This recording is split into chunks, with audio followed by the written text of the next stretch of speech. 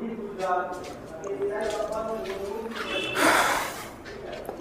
नमस्कार प्यारे अभ्यर्थियों, स्वागत है एक बार फिर से आप सभी का सक्सेस पॉइंट इंडिया चैनल के इस बेहतरीन जी के कुछ सीरीज़ में। प्यारे अभ्यर्थियों, उत्तर प्रदेश पुलिस आरक्षी भर्ती साठ हज़ार दो सौ चवालीस री एग्ज़ाम 2024 में के अंतर्गत जो सक्सेस पॉइंट परिवार की तरफ़ से जो एक प्रैक्टिस सेट चलाए जा रहे हैं। प्यारे अभ्यर्थियों, बात करें तो दोपहर दो बजे से आपको मिलेगा हिंदी का प्रैक्टिस सेट जो कि ऋषभ सर द्वारा लिया जाता है। प्यारे अभ्यर्थियों ठीक तीन बजे दोपहर में आपको मिलेगा जीएस और करंट अफेयर पीवाईक्यू बेस्ड जो आपको सीरीज़ मिलेगी, प्यारे अभ्यर्थियों, तीस क्वेश्चंस की डेली मिलती है, प्यारे अभ्यर्थियों, जो कि मैं आपके सामने राम तिवारी लेकर के आता हूँ, प्यारे अभ्यर्थियों। सायं सात बजे से प्यारे अभ्यर्थियों आपको मिलेगी विवेक सर द्वारा, जो है तो मैथमेटिक्स का पीवाईक्यू बेस्ड प्रैक्टिस सेट तो वहीं प्यारे अभ्यर्थियों, रात्रि आठ बजे एक बार फिर से जो है तो रीजनिंग का बूस्टर डोज मिलेगा ऋषभ सर के द्वारा। तो प्यारे अभ्यर्थियों, साढ़े में से आपकी सीट सुनिश्चित सुनिश्चित करने के लिए हमारी टीम लेकर के आई। आपके लिए सभी और हर एक सेगमेंट के प्रैक्टिस सेट इसी प्रैक्टिस सेट के अंतर्गत प्यारे अभ्यर्थियों आप मुझे देख पा रहे हैं और आज है आपके सामने जी के जी एस का प्रैक्टिस सेट नंबर थ्री और इस पर प्यारे अभ्यर्थियों बात करेंगे तो सबसे पहले प्रारंभ करते हैं आज की इस क्लास और मैं बता दूँ आज की क्लास का फॉर्मेट कि 25 क्वेश्चन आपको वीवाई क्यू बेस्ड होंगे और 26 से लेकर के 30 क्वेश्चन तक प्यारे अभ्यर्थियों आपको मिलेंगे, जो है तो करंट अफेयर जिसको हमने दिसंबर से लेकर के प्रारंभ किया दिसंबर दो हज़ार तेईस से। तो प्यारे अभ्यर्थियों बात करें आज के पहले प्रश्न की तो आज का पहला प्रश्न है ध्यान से सुनिएगा। एक कॉपी और पेन लेकर के बैठ सकते हो। कुछ भी महत्वपूर्ण लगे, उसको तुरंत नोट कर सकते हो।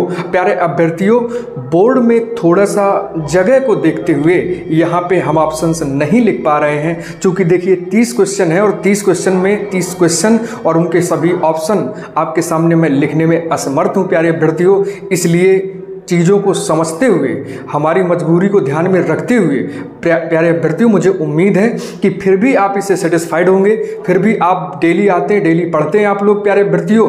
आपकी यही निरंतर मेहनत आपको एक दिन सफलता के मुकाम पर ला करके खड़ा करेगी, प्यारे अभ्यर्थियों। प्रारंभ करते हैं आज की इस क्लास को। जहाँ भी इंपॉर्टेंट पॉइंट लगे, उसको नोट ज़रूर करिएगा। पहला प्रश्न, प्यारे अभ्यर्थियों, कि अल्फ्रेड नोबेल ने किसकी मतलब किसका आविष्कार किया? प्यारे अभ्यर्थियों, अल्फ्रेड नोबेल ने किसका आविष्कार किया? प्यारे अभ्यर्थियों पहला प्रश्न पूछा जा रहा है। ये वही अल्फ्रेड नोबेल है जिनके स्मृति पर नोबेल पुरस्कार का आयोजन किया जाता है। प्रतिवर्ष प्यारे अभ्यर्थियों, बात करें तो जो अल्फ्रेड नोबेल थे तो ये स्वीडन के वैज्ञानिक थे, ठीक है? कहाँ के वैज्ञानिक थे? स्वीडन के वैज्ञानिक थे प्यारे अभ्यर्थियों, इन्होंने अठारह में अठारह में हमेशा याद रखिएगा, अठारह में इन्होंने डायनामाइट इन्होंने डायनामाइट की खोज की थी प्यारे अभ्यर्थियों, इन्होंने डायनामाइट की खोज की।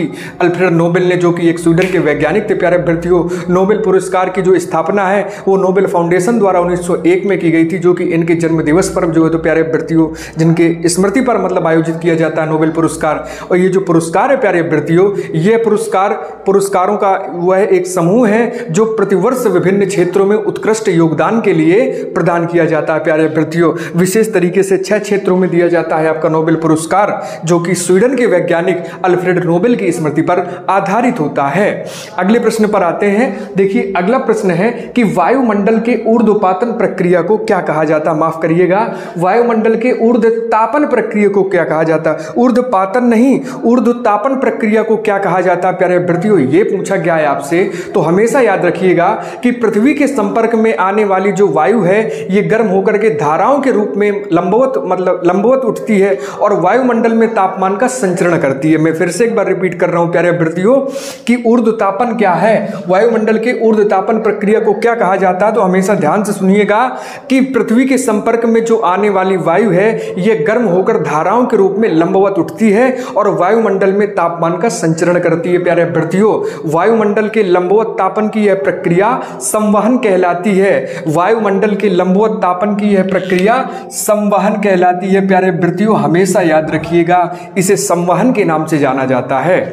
अगले प्रश्न पर आते हैं। प्यारे अभ्यर्थियों, अगला प्रश्न है कि किस वास्तुकार ने राजा बिंबिसार के महल को बनाया था। इससे पहले के प्रश्नों में भी हम डिस्कस कर चुके हैं कि जब भी राजा बिंबिसार का नाम आएगा, मगध का वो क्षेत्र जहाँ पे हरेक वंश की स्थापना हुई है, वो याद आएगा आपको, प्यारे अभ्यर्थियों। पाँच सौ चवालीस ईसा पूर्व में, प्यारे अभ्यर्थियों, सबसे पहले मगध में मगध में, प्यारे अभ्यर्थियों, हरेक वंश की स्थापना की थी।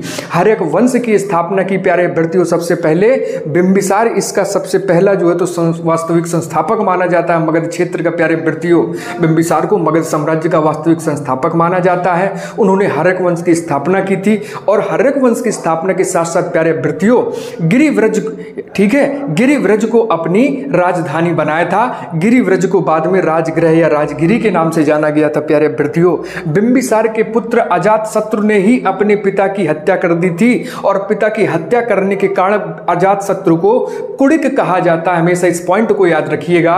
कुड़िक कहा जाता है, प्रीवियस ईयर क्वेश्चन में पूछा गया इसको तो प्यारे वृत्तियों बात करें वो राजा बिंबिसार का जो वास्तुकार थे, उनका नाम था महागोविंद। वास्तुकार महागोविंद ने, हमेशा याद रखिएगा, वास्तुकार महागोविंद ने बिंबिसार के महल को बनाया था।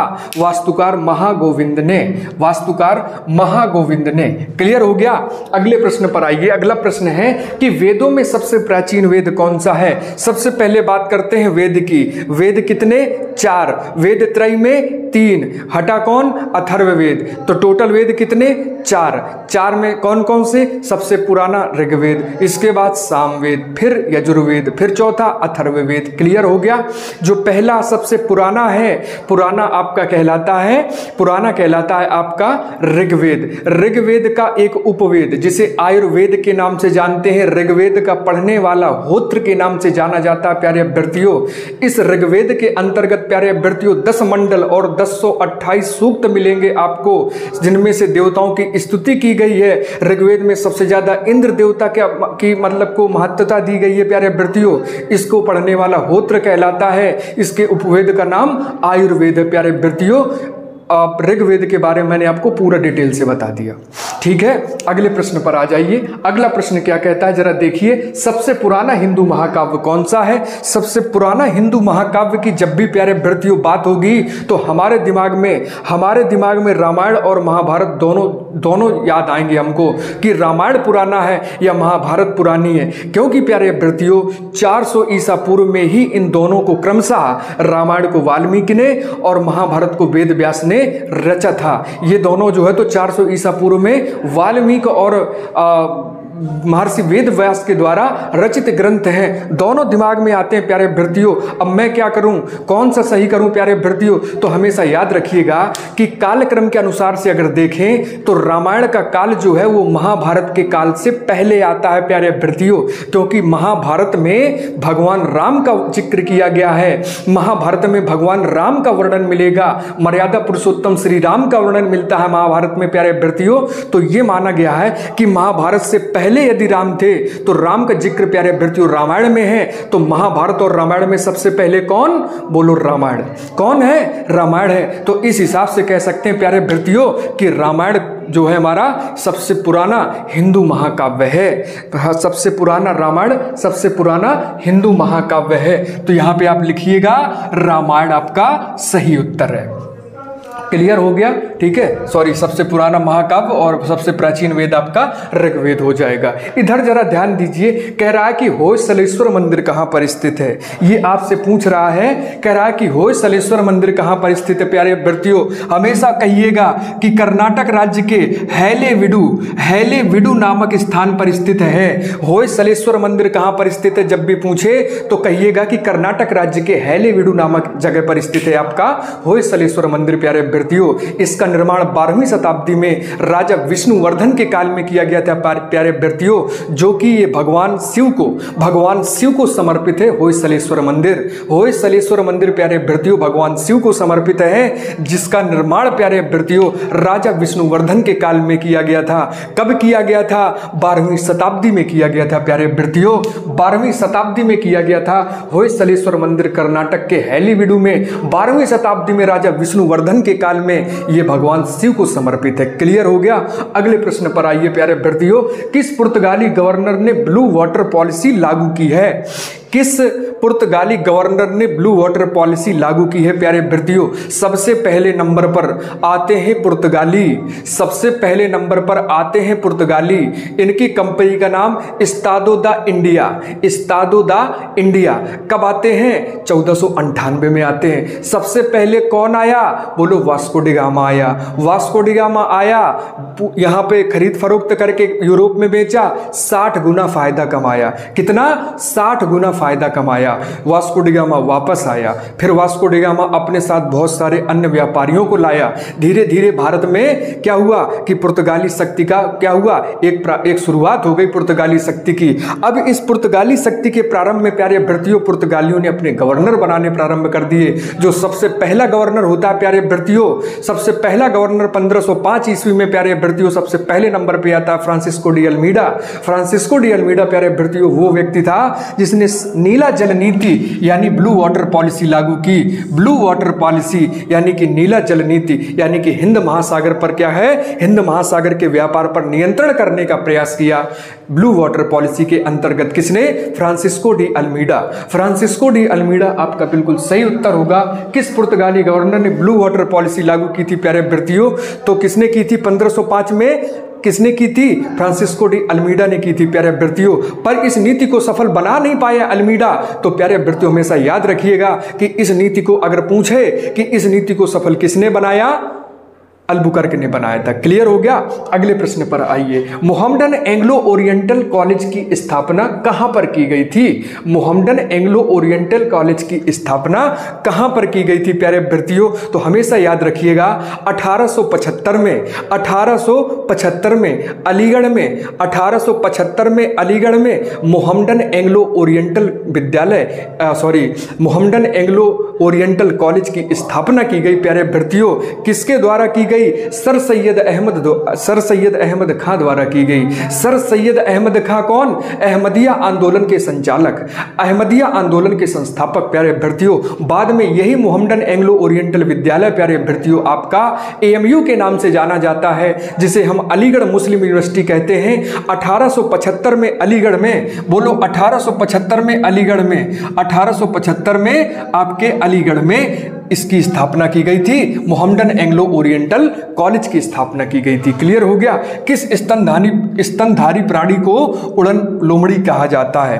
फ्लाइंग फॉक्स के नाम से किस स्तनधारी जो मेमल्स हैं, ऐस किसको जाना जा, किसको जाना जाता है उड़न लोमड़ी के नाम से? प्यारे अभ्यर्थियों तो बोलो चमगादड़ को। जितने भी स्तनधारी प्राणी हैं, प्यारे अभ्यर्थियों, वो उड़ नहीं सकते। उनमें से चमगादड़ है जो उड़ सकती है। अतः चमगादड़ को दुनिया का एकमात्र, चमगादड़ जो है, दुनिया का एकमात्र ऐसा ऐसा स्तनधारी प्राणी है जो उड़ सकता है। अगर उड़ सकता है, इसलिए इसे क्या कहते हैं? इसे उड़न लोमड़ी कहते हैं। इसे उड़न लोमड़ी कहते हैं। क्या कहते हैं? उड़न लोमड़ी फ्लाइंग फॉक्स ठीक है? समझ में आ गया? समझ में आ गया मेरे शेरों को। अगले प्रश्न पर आ जाइए। एग मार्क क्या है? पूछ रहा है, एग मार्क क्या है? एग देख करके अंडा मत समझिएगा। सावन चल रहा है। ठीक है? एग मार्क क्या है? तो देखिए, बात करें, एग मार्क क्या है प्यारे अभ्यर्थियों? तो एग मार्क क्या है? तो एग मार्क एक ऐसा प्रमाण चिन्ह होता है प्यारे अभ्यर्थियों, जो भारत में कृषि एवं खाद्य उत्पादों पर लगाया जाता है। एग मार्क एक ऐसा प्रमाण चिन्ह है, जो कि सरकार कृषि एवं खाद्य उत्पादों पर लगाती है प्यारे अभ्यर्थियों। साथियों ऐसी आशा की जाती है, ऐसी उम्मीद की जाती है कि जिन उत्पादों पर, जिन कृषि उत्पादों पर, जिन खाद्य उत्पादों पर एगमार्ग का प्रमाण चिन्ह लगा है, उनका जो मतलब वो जो उत्पाद हैं, वो जो प्रोडक्ट हैं, वो अपने मानकों पर खड़े उतरते हैं, प्यारे अभ्यर्थियों। ऐसा उम्मीद की जाती है, ऐसा कयास लगाया जाता है, प्यारे अभ्यर्थियों, कि अगर ये एगमार्क द्वारा प्रमाणित है तो फिर ये प्रोडक्ट कैसा है, ये प्रोडक्ट अपने मानकों पर खरा उतरेगा, प्यारे अभ्यर्थियों।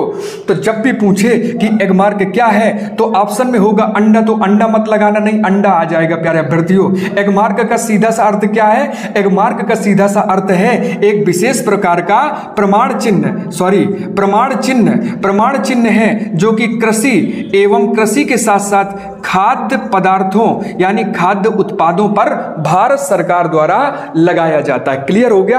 अगले प्रश्न पर आ जाइए। अगला प्रश्न कहता है कि गेहूँ की खेती के लिए कौन सी मिट्टी उपयुक्त है? गेहूँ की खेती के लिए कौन सी मिट्टी उपयुक्त है? तो बोलो, गेहूँ की खेती के लिए प्यारे भ्रतियों हमेशा याद रखिएगा दोमट मिट्टी उपयुक्त है। ठीक है? गेहूँ की खेती के लिए कौन सी मिट्टी? दोमट मिट्टी उपयुक्त है, प्यारे भ्रतियों दोमट मिट्टी। दोमट मिट्टी क्या है, प्यारे अभ्यर्थियों? तो यह रेत रेत और खाद का मिश्रण होता है। यह रेत और खाद की मिश्रण है ये मिट्टी, प्यारे अभ्यर्थियों, जिसमें 40 प्रतिशत साल्ट मिलेगा, जिसमें 40 प्रतिशत साल्ट मिलेगा 20 प्रतिशत, प्यारे अभ्यर्थियों, चिकनी मिट्टी मिलेगी और 40 प्रतिशत आपको रेत मिलेगी। 40 बीस, साठ, चालीस, सौ सौ परसेंट की बात करें तो ये दोमट मिट्टी है, जो कि गेहूँ की खेती के लिए मिट्टी उपयुक्त उपयुक्त पाई जाती है। जियोग्राफी भूगोल में जब भी प्रश्न आए चूँकि प्रीवियस ईयर क्वेश्चन में से पूछा जा चुका है कि गेहूँ की खेती या गेहूँ की कृषि के लिए कौन सी मिट्टी उपयुक्त होती है दोमट मिट्टी, प्यारे अभ्यर्थियों, बिल्कुल उपयुक्त होती है। यूगोस्लोविया की राजधानी क्या है, अगला प्रश्न पूछ रहा है। यूगोस्लोविया की राजधानी बेलग्रेड में है। यूगोस्लोविया कहाँ है, अगर पूछ ले तो ये यूरोप में स्थित है। यूरोप महाद्वीप का एक जो है तो देश है, प्यारे अभ्यर्थी, यूगोस्लोविया, जिसकी जो राजधानी है, वो बेलग्रेड है। क्या है? बेलग्रेड है। और प्यारे अभ्यर्थियों, बात करें इसके मुद्रा की तो इसकी मुद्रा है सर्वियाई दिनार सर्वियाई दिनार। सबसे पहले देखो, युगोस्लाविया की राजधानी क्या है? तो कह दो बेलग्रेड है। पहले कह दो बेलग्रेड है। मुद्रा क्या है? तो इसकी मुद्रा है सर्वियाई दिनार। सर्वियाई दिनार इसकी मुद्रा का नाम है। डियागो गार्सिया कहाँ स्थित है? प्यारे अभ्यर्थियों क्वेश्चन नंबर 14 पूछ रहा है आपसे कि डियागो गार्सिया कहाँ है? तो दिमाग में आएगा कि डियागो गार्सिया ये क्या है? तो डियागो गार्सिया की बात करें, प्यारे अभ्यर्थियों तो डियागो गार्सिया एक उष्ण कटिबंधीय पद चिन्ह आकार का एक मूँगा प्रवाल द्वीप है, जिसे एटॉल के नाम से जानते हैं। प्यारे अभ्यर्थियों, मूँगा के जो द्वीप होते हैं, उन्हें इंग्लिश में एटॉल कहते हैं। तो प्यारे अभ्यर्थियों, जो डियागो गार्सिया है, प्यारे अभ्यर्थियों, ये आपका उष्ण कटिबंधीय पद चिन्ह के आकार का, पैरों के आकार का, प्यारे अभ्यर्थियों, एक मूँगा प्रवाल द्वीप है, प्यारे अभ्यर्थियों, जो कि हिंद महासागर में स्थित है। इसे डियागो गार्सिया कहते हैं। डियागो गार्सिया कहाँ स्थित है? बोलो हिंद महासागर में स्थित है। हिंद महासागर स्थित में है। आपातकाल के समय भारत के राष्ट्रपति कौन थे? आपातकाल के समय भारत के राष्ट्रपति कौन थे? प्यारे अभ्यर्थियों तो सबसे पहले सुनो, आपातकाल कब लगा? तो बोलो, आपातकाल 25 जून 1975 से लेकर के 21 मार्च 1977 तक चला। यानी कि लगभग आपका ये चला, लगभग 21 महीने चला, प्यारे वृत्तियों इंदिरा गांधी की सरकार में चला था ये। इंदिरा गांधी की सरकार में आपातकाल लगाया गया था। अगर कोई पूछे कि राष्ट्रपति कौन है तो कहना कि राष्ट्रपति थे फखरुद्दीन अली अहमद जी। फखरुद्दीन अली अहमद जी राष्ट्रपति थे, प्रधानमंत्री इंदिरा गांधी थी, प्यारे भ्रतियों और हाल ही में करंट का प्रश्न बता रहा हूँ, प्यारे भ्रतियों करंट का पॉइंट दे रहा हूँ कि हाल ही में, प्यारे अभ्यर्थियों 25 जून को भारत सरकार ने एक निर्णय लिया है कि प्रत्येक वर्ष 25 जून को, प्यारे अभ्यर्थियों, क्या करेंगे? इस 25 जून को संविधान हत्या दिवस, प्यारे अभ्यर्थियों, मनाएँगे। संविधान हत्या दिवस मनाने का निर्णय लिया है भारत सरकार ने प्रत्येक वर्ष 25 जून को। हमेशा याद रखिएगा, प्यारे अभ्यर्थियों रिसेंटली का मामला है रिसेंटली का मामला है। आपातकाल के समय भारत के राष्ट्रपति Fakhruddin Ali Ahmed. My passage from India किसके द्वारा लिखी गई पुस्तक है, प्यारे अभ्यर्थियों? आपके प्रश्न पत्र में, प्यारे अभ्यर्थियों स्टैटिक जीके के पोर्शन में एक महत्वपूर्ण दिवस भी पूछा जाएगा। एक पुस्तक के राइटर का नाम भी पूछा जाएगा। एक प्रसिद्ध स्थल भी पूछा जा सकता है, प्यारे अभ्यर्थियों। तो बात करें कि आपकी जो माई पैसेज फ्रॉम इंडिया किसके द्वारा लिखी गई थी? तो प्यारे अभ्यर्थियों इस्माइल मर्चेंट नामक एक ऐसे व्यक्ति हैं। इस्माइल मर्चेंट इस्माइल मर्चेंट नामक वो व्यक्ति हैं जिन्होंने माई पैसेज फ्रॉम इंडिया नामक पुस्तक लिखी है। क्लियर हो गया? भारतीय संविधान की कौन सी अनुसूची भारतीय गणराज्य की आधिकारिक भाषाओं भाषाओं की सूची प्रदान करती है। प्यारे अभ्यर्थियों, सत्रह क्वेश्चन कह रहा है। कह रहा है कि भारतीय संविधान की कौन सी अनुसूची भारतीय गणराज्य की आधिकारिक भाषाओं की सूची प्रदान करती है? तो कहिएगा कि आठवीं सूची है। प्यारे अभ्यर्थियों, वो आठवीं अनुसूची है। ठीक है? आठवीं अनुसूची भारतीय गणराज्य की भाषा का जो है तो भाषा की बात करती है प्यारे अभ्यर्थियों। जिसमें बात करें तो 22 भाषा का उल्लेख किया गया है। प्यारे अभ्यर्थियों 22 भाषा का उल्लेख किया गया है। अगर बात करें तो पहले तो तो मूल रूप में इसमें चौदह भाषाएँ थी। आज़ादी के बाद से, संविधान के निर्माण के बाद से, अब तक की अगर बात करें तो इस आठवीं अनुसूची में बारह आधिकारिक भाषा सॉरी बाईस आधिकारिक भाषाएँ कर दी गई हैं। कितनी? बाईस। पहले कितनी थी? बोलो चौदह थी। ठीक है? अगले प्रश्न पर आ जाओ। भारतीय संविधान में राज्य के नीति निदेशक तत्वों की अवधारणा को कहाँ से लिया गया, प्यारे अभ्यर्थियों? ठीक है? भारतीय संविधान में राज्य के नीति निदेशक तत्वों की अवधारणा को कहाँ से लिया गया? तो बोलो, आयरलैंड के संविधान संविधान से लिया गया है, आयरिश संविधान से लिया गया है, आयरलैंड देश से लिया गया है, प्यारे अभ्यर्थियों। साथ ही साथ हमने बहुत सारी अन्य चीज़ों को लिया है, प्यारे अभ्यर्थियों। बात करें नागरिकता को कहाँ से लिया गया? बोलो, ब्रिटेन से लिया गया। मौलिक अधिकारों को कहाँ से लिया गया? यूएसए से लिया गया। विधि द्वारा स्थापित प्रक्रिया को कहाँ से अपनाया? बोलो, जापान से अपनाया। बहुत सारी चीज़ें हैं, प्यारे अभ्यर्थियों, जो कि हमने अनेक अनेक जगह से लिया है, प्यारे अभ्यर्थियों। भाईचारे की भावना को कहाँ से अपनाया? फ्रांसीसी क्रांति के तहत अपनाया, प्यारे अभ्यर्थियों हमने। अगले प्रश्न पर आइए, देखिए, कह रहा है कि उत्तर प्रदेश में भेड़ कुंड कहाँ स्थित है? प्यारे अभ्यर्थियों उन्नीसवां क्वेश्चन पूछ रहा है कि उत्तर प्रदेश में भेड़ कुंड कहाँ स्थित है? तो उत्तर प्रदेश में भेड़ कुंड स्थित है, प्यारे अभ्यर्थियों उत्तर प्रदेश के फरुखाबाद ज़िले में स्थित है। ये वही जगह है, प्यारे अभ्यर्थियों जहाँ पर पांडवों के अर्जुन ने द्रौपदी से विवाह करने के लिए मछली की आँख पर निशाना लगाया था। ये वही भेड़ कुंड जगह है, प्यारे अभ्यर्थियों ये उत्तर प्रदेश के फरुखाबाद ज़िले में स्थित है। जहाँ पांडवों ने मछली पर के आँख पर निशाना साधा था द्रौपदी के विवाह के लिए। और प्यारे मृत्यु, आप इस सीरीज़ पर निशाना साध दो कॉन्स्टेबल बन जाने के लिए। ठीक है? चलिए। मज़ा आ रहा क्लास में आना भी चाहिए। अगले प्रश्न पर आइए। भारतीय सशस्त्र बलों में एड डी कैंप बनने वाली प्रथम कैंप बनने वाली प्रथम महिला अधिकारी कौन है? भारतीय सशस्त्र बलों में अगला प्रश्न है कि भारतीय सशस्त्र बलों में एड डी कैंप बनने वाली प्रथम महिला अधिकारी कौन है? प्रथम महिला अधिकारी कौन है? ये पूछ रहा है, प्यारे अभ्यर्थियों तो हमेशा याद रखिएगा, वायुसेना की वायुसेना की जो स्क्वाड्रन लीडर है, प्यारे अभ्यर्थियों स्क्वाड्रन लीडर मनीषा पाढ़ी नाम क्या है इनका? मनीषा पाढ़ी मनीषा पाढ़ी को क्या किया गया? भारतीय सशस्त्र बलों में एड डे कैंप बनने वाली प्रथम महिला अधिकारी बनाया गया है। यहाँ तक क्लियर हो गया, मनीषा पाढ़ी ठीक है? विश्व स्वास्थ्य दिवस प्रतिवर्ष कब मनाया जाता है? तो बोलो, सात अप्रैल को मनाया जाता है। विश्व स्वास्थ्य दिवस सात अप्रैल को मनाए जाने का कारण क्या है, प्यारे अभ्यर्थियों? सात अप्रैल 1948 को, सात अप्रैल 1948 को World Health Organization World Health Organization WHO की स्थापना हुई। अतः डब्ल्यू ने सर्वसम्मति से यह निर्णय लिया कि वह आने वाले प्रत्येक वर्ष में, प्यारे अभ्यर्थियों, सात अप्रैल को विश्व स्वास्थ्य दिवस के रूप में मनाया जाएगा। विश्व स्वास्थ्य दिवस के रूप में मनाया जाएगा। अगले प्रश्न पर आइए। प्रशासनिक सुविधा हेतु तो यूपी में कितने शहरी निकाय हैं? प्रशासनिक सुविधा हेतु तो यूपी में कितने शहरी निकाय हैं, प्यारे अभ्यर्थियों? तो हमेशा याद रखिएगा कि प्रशासनिक सुविधा की दृष्टि से, प्यारे अभ्यर्थियों, उत्तर प्रदेश में, उत्तर प्रदेश में 18 मंडल 18 मंडल। ध्यान से सुनिए, ध्यान से। सुनिए फिर से।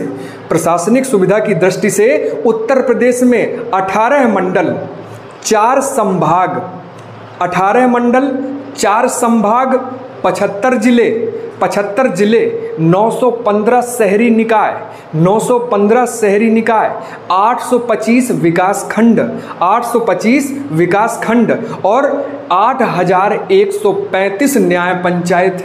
8135 न्याय पंचायत हैं, प्यारे अभ्यर्थियों, जो कि प्रशासनिक सुविधा हेतु अब कह रहा है कि यूपी में कितने शहरी निकाय हैं? तो बोलो 915 शहरी निकाय हैं, सर। अगले प्रश्न पर आइए। उत्तर प्रदेश में प्रथम बार अठारह में प्रकाशित होने वाले समाचार पत्र, हिंदुस्तान के संपादक कौन थे? तो हिंदुस्तान के संपादक थे प्यारे अभ्यर्थियों, बोलो, मदन मोहन मालवीय। मदन मोहन मालवीय जी, मदन मोहन मालवीय थे। उत्तर प्रदेश में प्रथम बार अठारह में प्रकाशित होने वाले दैनिक समाचार पत्र, प्यारे अभ्यर्थियों, हिंदुस्तान के संपादक, हिंदुस्तान के संपादक मदन मोहन मालवीय जी थे।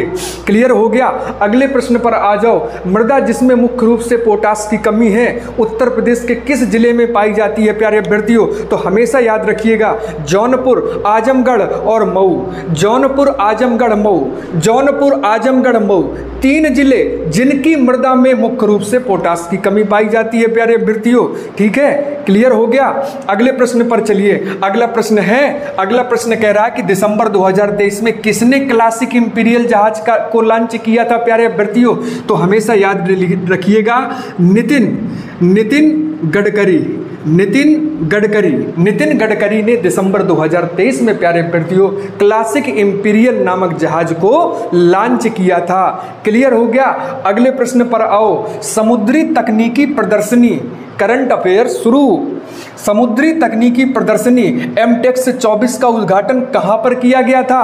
समुद्री तकनीकी प्रदर्शनी एमटेक्स 2024 एमटेक्स 24 का उद्घाटन कहाँ पर किया गया था? प्यारे अभ्यर्थियों तो हमेशा याद रखिएगा विशाखापट्टनम में किया गया था। समुद्री प्रदर्शनी एमटेक्स 24 का उद्घाटन। विशाखापट्टनम में किया गया प्यारे अभ्यर्थियों यह समुद्री प्रदर्शनी जो है, ये मिलान 2024 की एक विशेषता है, जो कि नौसेना में भारत की प्रगति को प्रदर्शित करता है। मिलान 24 की एक अनूठी विशेषता प्यारे अभ्यर्थियों, जो नौसेना एवं प्रौद्योगिकी के क्षेत्र में भारत की प्रगति को प्रदर्शित करता है। प्यारे अभ्यर्थियों, बात करें तो इस प्रदर्शनी का उद्घाटन किसने किया? अगर पूछे एमटेक्स चौबीस का उद्घाटन किसने किया? पूछते हैं। पूछा जाता है। राजनाथ सिंह ने किया। रक्षा मंत्री राजनाथ सिंह ने इसका उद्घाटन किया। प्यारे अभ्यर्थियों तीन त्रिदिवसीय तीन दिन चला ये कार्यक्रम। प्यारे अभ्यर्थियों कब? दिस आ, ये आपका एम टेक्स चौबीस। ठीक है? एम टेक्स चौबीस जो है आपका तीन दिन चला। प्यारे अभ्यर्थियों बात करें इसके उद्देश्य की तो हमेशा याद रखिएगा कि भारत के सभी समुद्री जो जितने भी भारत के सभी समुद्री उद्योग हैं इनके सुरक्षित और समृद्ध भविष्य को ले जाने के लिए ये इसका सबसे बड़ा उद्देश्य है। एम टेक्स चौबीस का उद्घाटन कहाँ पर किया गया? विशाखापट्टनम में किया गया। किसने किया? राजनाथ सिंह ने किया। किस, क्यों किया? ठीक है? तो भारत की प्रगति के लिए, भारतीय सभी प्रकार के समुद्री उद्योगों को सफलता और ऊंचाई पर ले जाने के लिए। 2023 की वैश्विक साइबर अपराध रिपोर्ट में भारत की रैंकिंग क्या थी, प्यारे अभ्यर्थियों? ये पूछा जाता है। सूचकांक और इंडेक्स पर बात हो जाती है कभी कभार रैंकिंग पूछ ली जाती है, प्यारे अभ्यर्थियों। तो पूछ रहा है कि 2023 की जो वैश्विक साइबर अपराध रिपोर्ट में भारत की रैंकिंग क्या थी? तो लिखो 80 रैंक थी।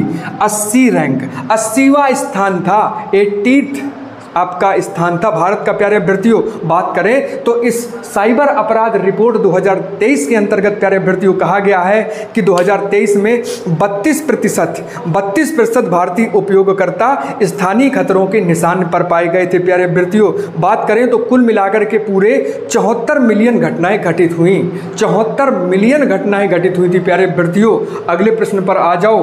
अब इसी पर देखो, वैश्विक साइबर अपराध रिपोर्ट में भारत की रैंक कितनी? तो बोलो अस्सी अस्सी अस्सी अस्सी। अगले नंबर पर आओ। अगले नंबर में पूछ रहा है आपसे। क्या पूछ रहा है? कह रहा है कि संयुक्त सैन्य अभ्यास धर्म गार्जियन बहुत फ़ेमस है धर्म गार्जियन संयुक्त सैन्य सैन्य अभ्यास धर्म गार्जियन किन दो देशों के बीच आयोजित किया जाता है? प्यारे अभ्यर्थियों तो हमेशा याद रखिएगा, भारत और जापान के बीच में आयोजित किया जाता है ये संयुक्त सैन्य अभ्यास धर्म गार्जियन प्यारे अभ्यर्थियों, इसका जो पांचवा सीज़न था, इसके पाँचवें सीज़न का प्यारे अभ्यर्थियों, इसका आयोजन आपका प्यारे अभ्यर्थी विद्यार्थियों महाजन पांचवा जो सीज़न था Mahajan field firing range Mahajan field firing range Pokhran Rajasthan में, प्यारे अभ्यर्थियों, इसका उद्घाटन इसका जो है तो आयोजन किया गया था, प्यारे अभ्यर्थियों।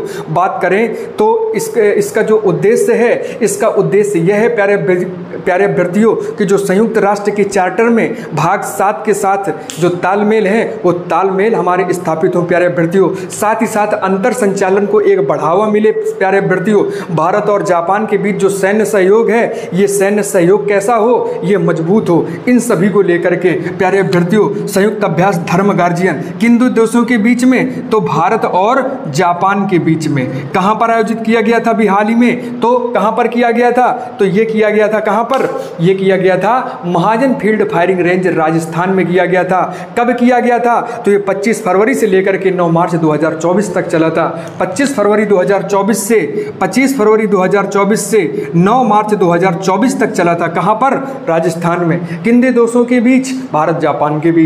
बंतारा पहल किससे संबंधित है? प्यारे अभ्यर्थियों पूछा गया है कि बंतारा पहल किससे संबंधित है? तो बंतारा पहल प्यारे अभ्यर्थियों पशु कल्याण से संबंधित है। पशु कल्याण से कैसे संबंध संबंधित है प्यारे अभ्यर्थियों बंतारा पहल? तो ध्यान से सुनिएगा रिलायंस इंडस्ट्रीज़ और रिलायंस फाउंडेशन के आ, ने क्या किया कि अनंत अंबानी के नेतृत्व में अपने बेटे ठीक है?